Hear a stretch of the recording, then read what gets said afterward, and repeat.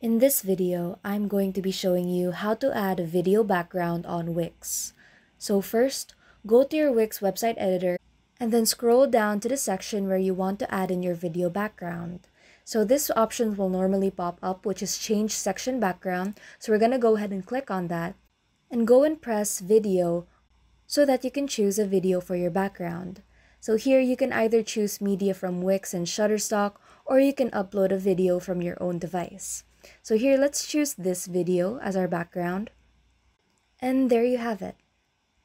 If you have any questions, just leave it in the comments below and leave a like and subscribe if this helped you out.